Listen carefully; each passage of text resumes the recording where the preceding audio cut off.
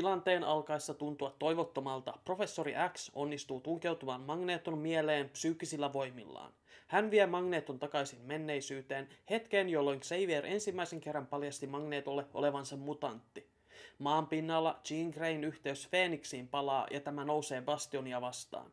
Hän onnistuu korjaamaan Forgin rakentaman kaulurin, joka estää Bastionia käyttämästä teknopatiaansa ja asettaa sen vihollisen kaulaan. Ylivahdit ympäri maailman pääsevät irti Bastionin hallinnasta.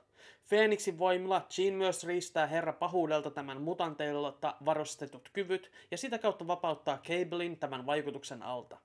Homma näyttää kääntyvän vihdoin ryhmä Xn voitoksi, kun Bastion jälleen nousee ja päättää ratkaista homman pudottamalla asteroidi M maahan. Melkoiset yhdeksän viikkoa tulikin taas vietettyä yhden Marvel-sarjan parissa. X-Men 97-sarjaan liittyvät odotukset olivat aika maltilliset, kun en erityisemmin tunne Ysärin X-Men-sarjaa kuin vain maineelta, eikä X-Men-hahmot varsinaisesti ole se suurin suosikkini Marvelin maailmasta. Beudemaajon sarja kuitenkin kiskaisi minut mukaansa heti ensimmäisellä jaksollaan ja sai minut haukkomaan henkeäni lähes jokaisen jakson jälkeen. On ollut aivan hämmästyttävää, miten lujaa sarja minun lopulta iskikään. Ja nyt kun sen ensimmäinen kausi on ohitse, voin sanoa sen vieläpä onnistuneen tarinansa viemisessä loppuun asti kunnialla. Finaali ei ehkä herättänyt itsessäni samanlaisia syviä ajatuksia kuin aiemmat jaksot, mutta kauden tarinan yhteensitovana lopetuksena se oli erinomainen. Jakso alkaa kohtauksella, joka näyttää aluksi tavalliselta takaumalta. Siinä nuoret Charles Xavier ja Eric Lensher ovat vasta tavanneet ja ensimmäistä kertaa paljastavat toisilleen olevansa mutantteja. Pian katsojille ja Magnetolle paljastuu, että kyseessä onkin Xavierin luoma harha. Mutanttivoimillaan hän on vienyt itsensä ja tämän vanhan ystävänsä tämän muistoihin voidakseen estää tämän suunnitelmat nykyhetkessä. Hahmojen menneisyyden yhdistäminen näiden väliseen taisteluun toimii mainiosti. Sen kautta katsojia muistutetaan kaksikon yhteisestä historiasta, siltä varalta, jos osa heistä ei sisäistä, miten suuri rakkaus heidän välillään vallitsee välirikosta huolimatta. Samanlaiset kuitenkin toimii juonen nykyhetken edistäjänä, varmistaen, että käytetyt minuutit eivät vaaranna tarinan tyydyttävään loppuun saattamista. Tunnetasolla itseäni tämä takauma vetoaa erittäin hyvin. Xavierin ja Magneton suhde on todella mehukas. Kaksi sydänystävää, jotka päätyivät lain vastakkaisille puolille filosofisista syistä, on lähtökohtaisesti vaikuttavaa. Se demonstroi hienolla tavalla ihmissuhteiden monimutkaisuutta, ystävyyden voimaa sekä sitä, miten todelliset arvot oikeasti maksavat jotain ihmisille. Kumpikin näistä suurista mutanttien johtajista ovat lähes vankkumattomia uskossaan omaan filosofiaansa. Vaikka Magneto vastikään antoikin Xaverin polulle mahdollisuuden, osoittautui se hänelle vääräksi ja palasi hän aiempaan asemaansa entistä vahvemmalla tahdolla. Ja kun kaksi näin voimakkaasti eri lailla ajatteleva ihmistä kohtaavat, eivät he pysty enää tulemaan toimeen samalla lailla. Kun ihminen oikeasti uskoo johonkin, näkyy se kaikessa hänen tekemisessään. Ihmissuhteiden kohdalla joutuu joskus toteamaan, että aiemmin tärkeä ihminen ei olekaan oikea seuraa itselleen tämän arvojen aiheuttamien ristiriitojen takia. Samaan aikaan tunteita seuraava ihmisluonto on myös vahvasti sosiaalinen. Kun toiseen ihmiseen muodostaa tarpeeksi voimakkaan tunnesiteen, ei sitä noin vain katkaista. Rakkauden myötä on helpompi nähdä tämän perspektiivi, vaikka tekeekin siitä erilaiset johtopäätökset. Ystävän seura myös on yksi parhaista mielihyvän tuottajista, mikä tekee siitä luopumisesta vieläkin vaikeampaa. Tämän vuoksi Xavierin ja Magneton välinen side pysyy aina tavalla tai toisella lujana, vaikka he ovat tehneetkin päätöksen jatkaa matkaansa erillään toisistaan. Heidän välinen yhteytensä myös johtaa siihen, että he ovat aina valmiita antamaan toisilleen uuden mahdollisuuden etsien tapoja valaista polku omalle tielleen toista varten – Tämä kaikki tekee heidän välisestä suhteestaan todella mielenkiintoisen ja monimutkaisen. X-Men 97-sarjan ensimmäisen kauden päätösjakso käyttää hyväkseen Xavierin ja Magneton suhdetta erinomaisesti tarinan kerronnassaan. Xavier joutuu tekemään todella tiukkoja, moraalisesti arveluttavia päätöksiä voittaakseen ystävänsä. Tunkeutumalla tämän mieleen, hän rikkoo Magneton rajoja todella merkittävällä tavalla, mistä Magneto on oikeutetusti käärmeissään. Samaan aikaan on mahdotonta olla ymmärtämättä Xavieria. Magneto on juuri pimentänyt koko maapallon ja repinyt Wolverinen luuston riekaleiksi supervoimiensa avulla. Rakkaus Magnetoa kohtaan estää Xavieria kuitenkaan menemästä aivan loppuun asti rikkomuksessaan. Hän voisi jättää tämän mielen täysin pirstaleiksi, kenties jopa tappaa ystävänsä. Sen sijaan hän pyrkii ystävänsä pysäyttämiseen jälkeen korjaamaan tekemänsä vaurion jotta tämä voi vaarantaa ja va- jotta tämä voi vaaran jälkeen jatkaa elämäänsä, vaikka se tietäisi lisää ongelmia tulevaisuudessa. Kuitenkin niin kauan kuin Magneto on elossa, on Xavierilla myös toivo siitä, että hänen ystävänsä vielä palaisi hänen rinnalleen. Kaikki tämä tuottaa myös tulosta. Lopussa kun Magneto herää, päätyykin hän auttamaan muuttuneessa tilanteessa. Bastion on voimillaan irrottanut asteroidi M maan kiertoradalta, ja nyt tämä lähestyy planeetan kamaraa valtavan meteorin lailla. Törmäys tietäisi niin ihmisille kuin mutanteillekin dinosaurusten tietä kadun toiselle puolelle. Magneetto voimillaan auttaa ryhmä X torjumaan uhan ja muuttaa asteroidi M suunnan maasta poispäin. Myöhemmin, kun asteroidi sitten räjähtää ja sankarimme päätyvät aikamatkalle, näemme, että Magneetto ja Xavier kykenevät jälleen yhteistyöhön uudessa, arvelluttavassa tilanteessaan. Jään todella suurella mielenkiinnolla odottamaan, miten kaksikon suhde kehittyy seuraavaksi sarjan toisella kaudella. Wolverine on yksi suosituimmista, mutta samalla myös eniten mediassa huomiota saaneista ryhmä Xn jäsenistä. Tämän vuoksi itseäni ei haittaa ollenkaan, että hän on tässä sarjassa ollut enemmän taka-alalla. Lähinnä hän on silloin tällöin murahtanut jotain hupaissa ja osoittanut hyötynsä tiimille taistelukohtauksissa. Viime jakson lopuksi Magneto repi Wolverinen luurankoa päällystävän metallikerroksen irti magneettivoimillaan, jättäen normaalisti nopeasti paranevan mutanttiäijän henkihieveriin. Siksi Wolverine on koko kauden päätösjakson poissa pelistä, juttomana ryhmä Xn aluksen sairastuvalla. Tämä ei tarkoita kuitenkaan sitä, että hahmon vaikutus olisi poissa sarjasta. Totta kai koko muu ryhmä nyt kantaa huolta toveristaan ja kannustaa tätä parantamaan haavansa. Kykloppi esimerkiksi vetoaa siihen, miten Wolverinen suojatti jubilee jäisi kaipaamaan mentoriaan.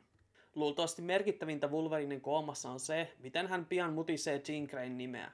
Kuten erässä kauden alkupuolen jaksossa näytettiin, on Wolverine yhä enemmän tai vähemmän rakastunut telepatian hallitsevaan toveriinsa.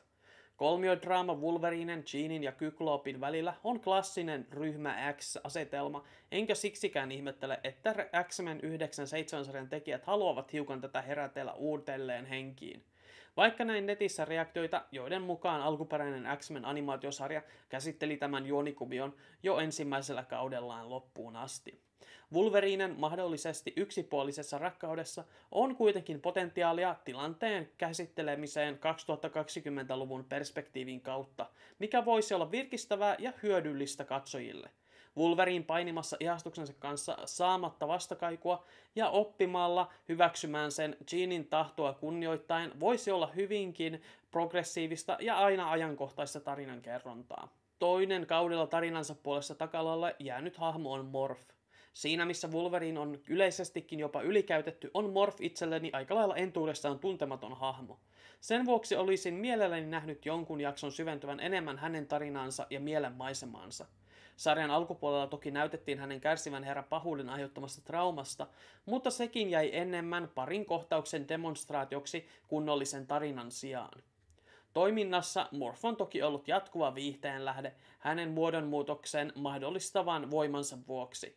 On aina ollut hauska nähdä, keneksi Marvel-universumin hahmoksi hän milloinkin muuttuu ja miten X-Men 97 animaatiotiimi pääsee sitten kyseisen hahmon supervoimilla leikittelemään. Toiminta itsessään ei kuitenkaan riitä tekemään Morfista kokonaista hahmoa, varsinkin kun hänen muodonmuutosvoimansa nimenomaan muuttavat hänet joksikin toiseksi ihmiseksi, ainakin ulkoisesti. Ja kun Morfin oma muoto on valkoinen, piirteetön, tyhjä naamataulu, luulisi tässä olevan potentiaalia jonkinlaisen identiteettikriisin kuvaamiseen. Kuka Morfon henkilönä jää ainakin uudelle katsojalle arvoitukseksi. Jotain leikkisyyttä hänessä on ja trauman jättämät henkiset arvet, mutta sen syvemmälle ei hänen maailmaansa olla sarjan aikana päästy. Erityisesti Morfin ollessa sarjan ainoa avoimesti muun sukupuolinen päähenkilö olisi ollut mukava päästä syvemmälle hänen päänsä sisään. Jotain vihjettä voi ehkä saada siitä, että Morfon sarjan aikana usein nähty hengaamassa Wolverinen seurassa. Erään jakson lopussa hän innokkaasti meni yksinäiseltä vaikuttamaan Loganin luokse sixpack kaljaa mukanaan, ja nyt finaalissa näemme hänet pitämässä seuraa koomassa makaavalle ystävälleen. Juuri Morf on se, joka kuulee Wolverinen mutisevan Jean Grayn nimen unessaan.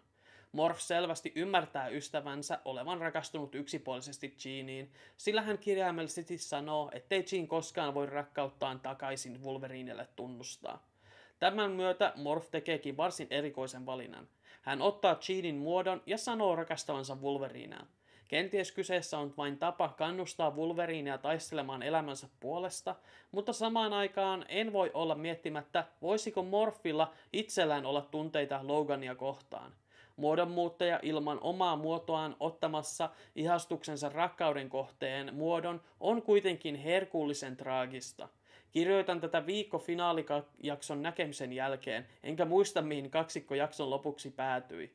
Toivon joka tapauksessa, että heidän suhteeseensa ja erityisesti Morfin mielenmaisemaan sukelletaan syvemmin sarjan toisella kaudella. Ryhmä Häksän suosikki kummaperhe, Kykloppi, Jean Grey ja Cable ovat myös jälleen vauhdissa. Valitettavasti osa jakson yksityiskohdista on jo minulta unohtunut tässä vaiheessa, mutta teen parhaani ajatusten ja tunteiden välityksen suhteen.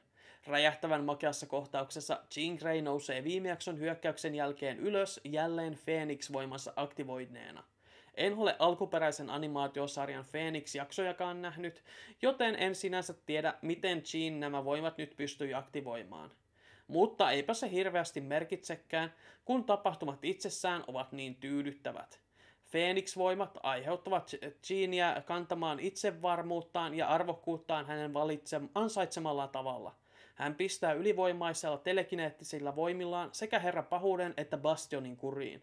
Jälkimmäisen toki vain hetkellisesti. On erittäin tyydyttävää, kun Phoenix Jean kiskoo herra pahuudelta tämän tekemät mutanttivahvistukset pois ja vihollinen ikääntyy katsojen silmien edessä eläväksi rusinaksi. Kierrojen kokeiden tekijältä niiden tulosten riistäminen tuntuu runolliselta oikeudelta ja saa siksi katsojen tuntemaan erittäin voimakasta mielihyvää, kun herra pahuus nyt ruikuttaa menetettyjen voimiensa perään. Samalla hänen otteensa Cableista myös raukeaa ja tämä voi jälleen astua tovereidensa rinnalle Bastionia vastaan. Tämä toiminta johtaa myös siihen, että Cable onkin valmis hyväksymään myös Jeanin äidikseen. Ajatuksen tasolla on totta kai todella kaunista, että Cable ei takerru pelkkään synnyttäjänsä ja siittäjänsä vanhempinaan, mutta muutos ei silti resonoi minussa kovinkaan vahvasti. Ymmärrän Jeanin puolen kyllä, hän on kertonut omaavansa samat muistot ja tunteet liittyen Nathanin syntymään kuin tämän käytännössä synnyttänyt Madeline Kay. Mutta Cable on aikuinen mies, joka on viettänyt vain hetken elämästään Jeanin seurassa – hänen rakkautensa Madelineenkin on lähinnä hämärän muiston ja tämän telekineettisesti luoman yhteyden aikaansaannos. Siksi tuntuu varsin kummalliselta, miten nopeasti hän on valmis nyt kutsumaan Jeania äidikseen, vaikka muuten sitten tykkäänkin Summersin perheen löytämästä uudesta lämmöstä. Tultuaan Jean Greyn peittoamaksi ja menetettyään kontrollin ylivahdeistaan, Bastion alkaa käydä epätoivoiseksi. Hän ottaa uuden entistäkin kehittyneemmän muodon ja suuntaa asteroidi Mlle. Siellä hän päättää pudottaa laitoksen maan pinnalle ja aiheuttaa näin sukupuuton niin ihmisille kuin mutanteillekin. Tässä on ihastuttavaa kaiken menettäneen paiksen epätoivoa ilmassa. Suunnitelma on niin absurdi ja julma, että ainoastaan ihminen, joka ei enää välitä yhtään mistään, pystyy sen tekemään. Toki samaan pyrki myös Ultron elokuvassa Avengers Age of Ultron, mutta Bastionin kohdalla se resonoi voimakkaammin. Ultronin tapauksessa kyse oli jonkinlaisesta häiriintyneestä, epäinhimillisestä, logiikaksi naamioidusta, typerästä johtopäätöksestä. Bastionin tapauksessa kyse on enemmänkin epätoivoinen kieltäytyminen tappion hyväksymisestä. Jos Bastion ei voi saada haluamansa, tuhoutukoon koko maailma. Tässä on vinksahtaneen megalomaanisen pahiksen pakkomielteistä energiaa, joka toimii erinomaisesti X-Men 97 ensimmäisen kauden päätöksenä. Ryhmä X onnistuu kuitenkin totta kai voittamaan Bastionin yhteistyön voimalla. Animaatio laulaa tuttua sarjan aikana todistettua likitäydellistä lauluaan toimintaa kuvatessaan.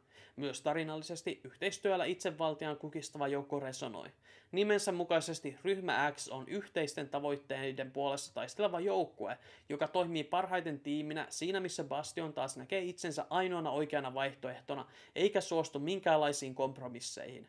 Voima hyväksyä toisten erilaisuus ja sovittaa erinäisiä näkemyksiä yhteen kuvataan ryhmä Xn avaimena voittoon, antaen sarjalle kauniin loppukaneetin ihmisten yhteistyön potentiaalista.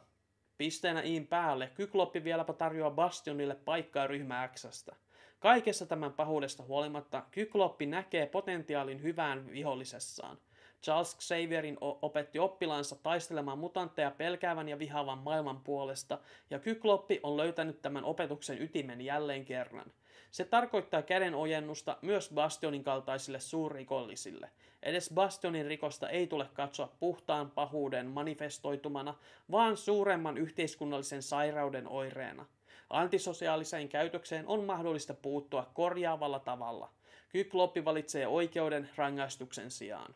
Bastion ei toki lopulta tartu tilaisuuteen, ja kun Yhdysvaltojen lähettämät ohjukset osuvat asteroidi M, menettää tämä henkensä. Isku toimii myös valitettavana vastalauseena Xavierin opeille. Ihmiskunta jälleen on mutantteihin luottamisen sijaan päättänyt ottaa ohjat omiin käsiinsä väkivallan keinoin tutkimatta tekojensa seuraamuksia. Erityisesti pidän siitä, että sarjan kirjoittajat ovat uskaltaneet osoittaa syyllistävän sormensa suoraan Yhdysvaltojen presidenttiin ja hallituksiin. Ehkä joku voi katsoa sarjan fiktiivisen presidentin eroavan tarpeeksi todellisista maanjohtajista, mutta itse ainakin katson hahmon pelkuruuden syytöksenä todellisia ihmisiä kohtaan. Oli vallassa sitten Donald Trumpin kaltainen täysfasistinen perverssi, Joe Bidenin kaltainen vanhuuden höperö huruukko tai jopa Barack Obaman kaltainen päällisin puolin asiallinen johtaja, Yhdysvallat jatkuvasti pettävät niin omat kansalaisensa kuin muun maailmankin. Ties minkä tekosyyn varjolla kyseinen valtio on jatkuvasti puuttunut negatiivisella tavalla muiden maiden asioihin, samalla kun he ovat pilanneet omien kansalaistensa elinolot kasvattamalla eriarvoisuutta ja kieltäytymällä ihmisten hyvinvoinnin lisäämisestä. Yhdysvallat mieluummin ampuvat alas sankarit uhan mukana, sen sijaan, että uskoisivat jonkun muun kuin heidän itsensä tietävän, miten asioita korjataan. Jakson lopussa asteroidi M räjähtää valtaosa ryhmä Xstä mukanaan.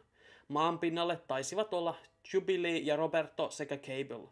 Forge kuvataan myös X-kartanon raunioissa pitämässä listaa menetetyistä ryhmä Xn jäsenistä.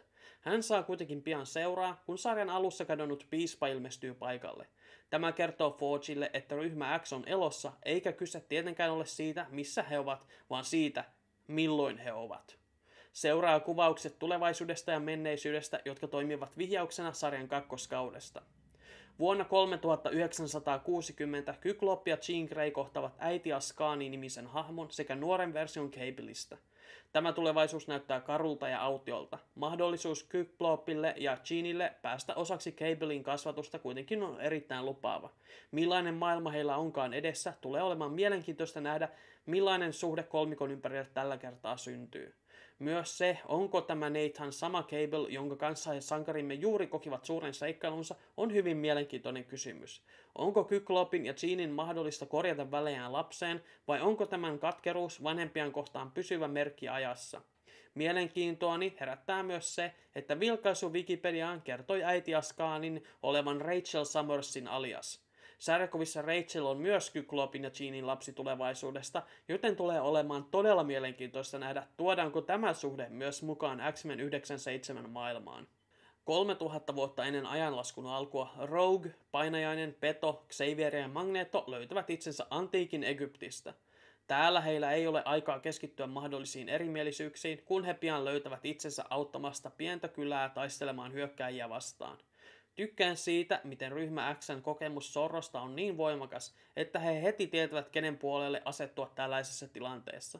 Taistelun päätteeksi he löytävät hyökkääjien todellisen kohteen nuoren Ensaba Nur-nimisen mutantin. Kyseessä on klassinen X-Men pahis Tuho, englanniksi Apocalypse, nuorukaisena. Tuho on yksi ryhmä Xn merkittävimpiä pahiksia, mutta myös taas yksi hahmo, jonka tarinaan en ole erityisen syvällisesti perehtynyt. Kyseessä on ylivoimainen mutantti, joka ymmärtääkseni on vielä radikaalimpi versio Magnetosta, joka ei usko pelkästään ihmisten orjuttamiseen, vaan myös muiden mutanttien alistamiseen vahvuuden toimiessa oikeutuksena hänen vallalleen. Tuhon nuoren version kohtaaminen myös voi olla todella mielenkiintoinen väline tarinan kerronnalle – Miten Magneto ja Xavier lähtevät auttamaan miestä, jonka tietävät tulevaisuudessa kasvavan hirviöksi, ja miten nuori Ensabah Nur reagoi kahteen opettajaan ja näiden oppilaisiin. Ensabah Nurin kautta on mahdollista tutkia sekä hahmoa itseään että ryhmä Xn jäsenten eri filosofioita. Ja koska kaksi aikamatkustustarinaa vihjettä eivät vielä ole tarpeeksi, käväistään tekstien välisessä kohtauksessa vielä tarinan nykyisyydessä – Täällä aikuinen tuho on saapunut Genoshan raunioille ja löytänyt sieltä Gambitilta jääneen kortin. Sarjakuvista tiedän sen verran, että tuholla on usein seurana neljä maailmanlopun ratsastajaa, joista yksi edustaa kuolemaa. Vihje tuntuu olevan, että tuho tulee herättämään Gambitin eloon omana zombisotilaanaan. Luonnollisesti tässäkin on potentiaalia vaikka millaiseen draamaan. Toisesta kaudesta on siis selvästi tulossa hyvin vahvasti tuhokeskeinen, kun hahmo nähdään sekä menneisyydessä että nykyisyydessä, ja mahdollisesti myös tulevaisuudessa. Muistaakseni Rachel Summers kuitenkin liittyy myös jotenkin kyseisiin tarinoihin. Oli miten oli, ensi kautta jään odottamaan suurella innolla. X-Men 97-sarjan 10. jakso Tolerance is Extinction Part 3 on massiivinen lopetus erinomaiselle kaudelle supersankaritelevisiota. Se on ahdettu täyteen upeasti animoitua toimintaa, joka varmasti tyydyttää jokaisen lauantai-aamujen piirrettyjä lämmöllä muistelevan aikuisen lapsen. Mukaan mahtuu kuitenkin myös aimoainos hahmojen kautta kerrottua tarinaa ja tyydyttävä lopetus kauden konfliktille. Loppuun mahtuu sekä toivoa että voimakasta kritiikkiä tosielämän vallanpitäjiä kohtaan. Vihjeet tulevasta jättävät katsojan myös odottamaan toista kautta suurella innolla. Kertakaikkisesti onnistunut finaali X-Men 97 sarjan ensimmäiselle kaudelle. Onnistuneita ovat myös teidän positiiviset ja rohkaisevat kommenttinne. Kertokaa omat mietteenne tästä jaksosta ja tästä kaudesta, kun olette painaneet peukkua tilanappia kelloa. Muistakaa tsekata leffamedia.fi ja Marvel Podcast Suomi. Vapaus Palestiinalle, kiitos kaikesta hyvästä.